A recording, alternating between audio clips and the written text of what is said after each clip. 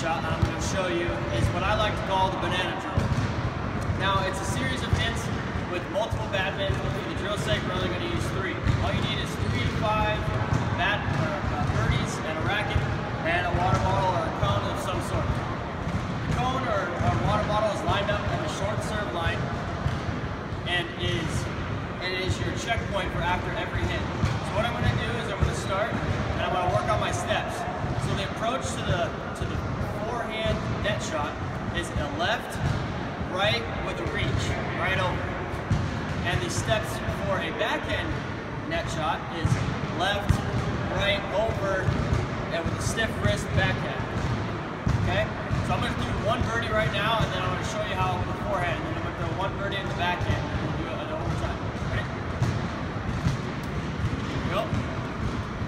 Left, right, backhand.